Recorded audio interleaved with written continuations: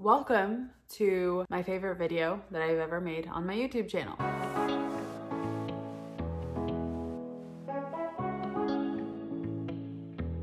So this is not something that I'm super excited to talk about. I feel like this is definitely a subject that people try to avoid when possible, but I'm just going to kind of get into it. I'm going to try to just tell the story of exactly what happened, which led me to where I am today, and give you guys everything from start to finish because I know a lot of people have had a lot of questions.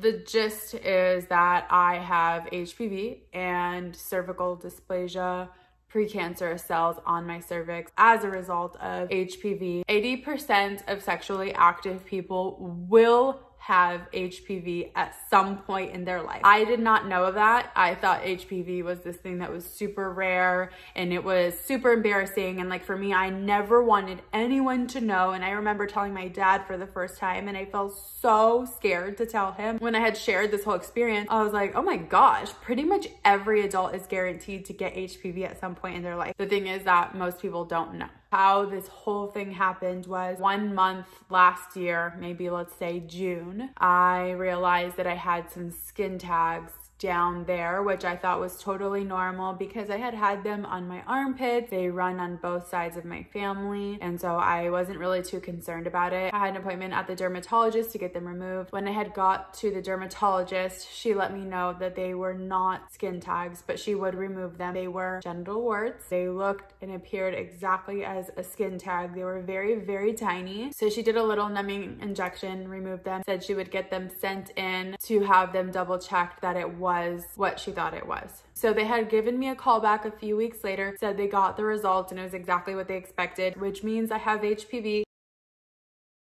She referred me back to my OB and said, you need to be checked for cervical cancer because that is one of the things that does come with HPV. I scheduled an appointment with my OB and they had to do a PAP. Called me back a few weeks later and said it was abnormal. We have to do a colposcopy, which is where they do the biopsy and check to see kind of what the cells are. They had pretty much told me at that time, if you have the genital warts HPV, that means that you don't have the cervical cancer HPV. So they pretty much at that point ruled it out because having that means you don't have that. And so I was not too nervous and they were not too nervous and said there's nothing you need to really worry about. Unfortunately, the time in between in between the PAP and the colposcopy was like six months because I had scheduled my colposcopy in July, the end of July. And instead of getting it done, I ended up scheduling my tummy tuck revision. And so I skipped it and I meant to reschedule, but kind of never got back to it. And I was kind of nervous to go back anyways. And we all know how that goes. So I had my colposcopy, which was, it wasn't too painful getting the biopsy, but then they pour a solution over your cervix, which is super painful. That was definitely like putting vinegar on an open wound and it burned really, really bad. They said, you know, per what we've seen, there's really nothing that lit up or anything like that. We're thinking it's gonna be fine. So I got my colposcopy results back. So I called and they were like, uh, okay, the doctor is not in today, but we'll have her call you tomorrow. And I was like, okay. So tomorrow comes and then they call back and they're like, hi, um, we need you to come in today we need you to come in right now. And I'm like, what? I'm thinking like there is either two possibilities in this circumstance. One, I have cervical cancer and I'm going to have to get a hysterectomy. It's either that or I'm about to die. With the tone of voice this lady had on the phone, it was like, it's really bad. She went really dark. So we stopped everything we were doing, drove to Tampa, talked to the lady and she's like, you know, I'm sorry about that. You know, I could have told you on the phone. Um, there was just some miscommunications and my boyfriend's like, what the heck? Like miscommunications? We thought she was dying. And she's like, yeah, sorry about that. And so she's like, so here's the situation. You don't have cancer, but you do have precancerous cells. And it's just one of those things that we would rather be safe than sorry. And so we just need to go ahead and schedule what's called a LEEP procedure, L-E-E-P. And what they do is they're to basically take a portion of your cervix, like one of the layers of your cervix and they're gonna basically take it out to make sure that we get any sort of those cells out. It's the best thing that you can do. Um, unfortunately, the side effects of the procedure are that there is a possibility when you do decide to have another baby that you will miscarry. And the other possibility is that you will have preterm birth because it will give you a weak cervix or what they call an incompetent cervix, preterm birth. And as early as like 20 weeks, that's what she said. And we're like, what? There's not really a survival rate for a baby born at 20 weeks. And me and my boyfriend, obviously, if you guys saw our relationship Q&A, we really want to have more kids. And so for us, we're looking at each other like, no freaking way. And we're asking what the alternatives are. And she's like, this is really like the procedure that you need.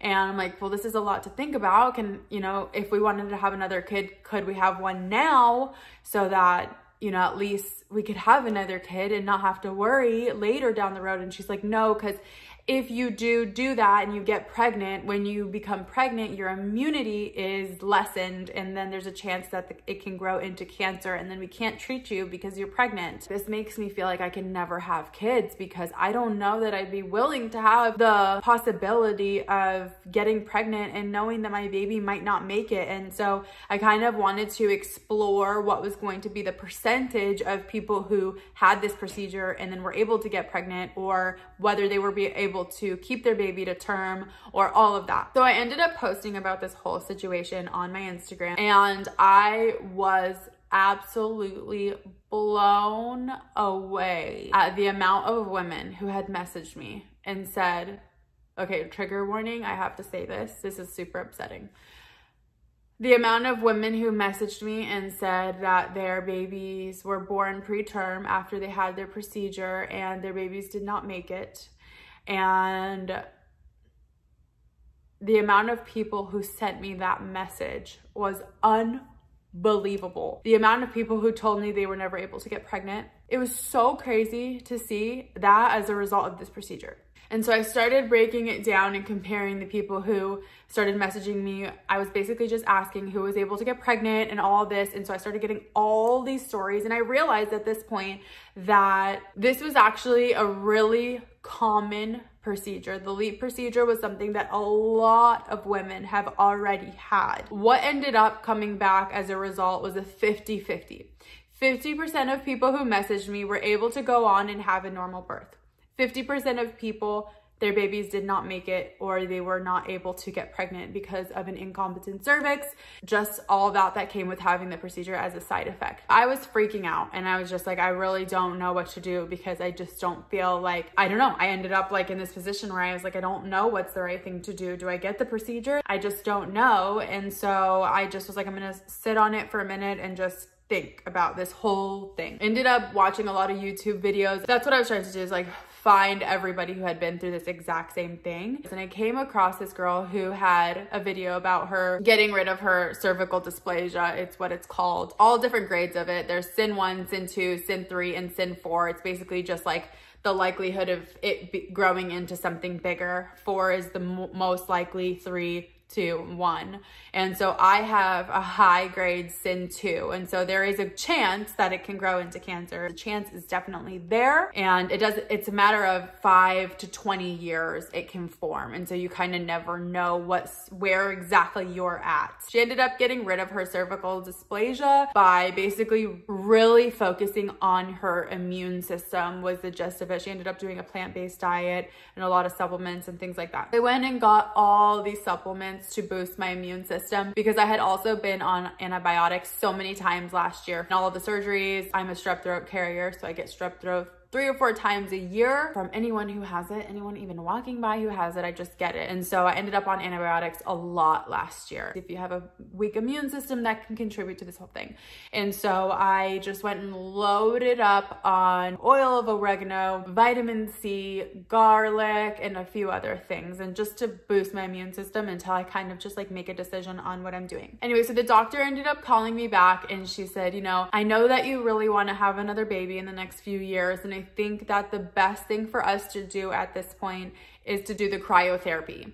The cryotherapy is where they basically freeze off the cells instead of taking a layer of your cervix. I think this is the route that I'm going to take. I think this is where I'm at right now. I'm kind of surprised that she didn't offer me that as a solution in the beginning. I mean, the weirdest thing is they had scheduled my surgery um, to get the LEEP procedure done before I had even gotten to my appointment. And so that to me was the part that I was like, why are you scheduling it before even talking to me? And why is this such an emergency. Like they had scheduled it for the beginning of March.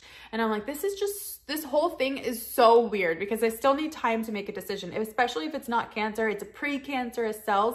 I shouldn't have to make this life altering decision in just a few weeks. And I didn't want to have to make the decision like right on the spot, which is what they wanted for me to do. At this point in time right now, I am going to, I think, I'm going to go ahead and just get the cryotherapy. They told me that there's no side effects. There's nothing that can really go wrong.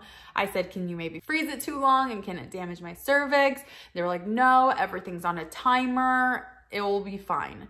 I wanted to share this because this whole thing really freaked me out when it first happened and I was really scared and I had no idea. Also made a Facebook group for this exact group of people who have any sort of cervical dysplasia or considering the LEEP procedure just to kind of share experiences. When you're feeling like so alone and you think that there's nobody else, people don't like talking about this kind of stuff publicly. It's like humiliating, right? To talk about this stuff, but you see how many people it happens to and I reached over a thousand people in one day who had already been through this procedure. And so it's really common. And I just want people to know that there is a safe place that we can kind of talk about it and let people know if you have HPV, it just is a thing that happens. It doesn't make you a bad person. You shouldn't be embarrassed about it or you shouldn't feel afraid to talk about it because it is something 80% of people get. So if you don't, you're super lucky, but most people do get it at some point in their life. Like I said, they just don't know that they have it. I hope that this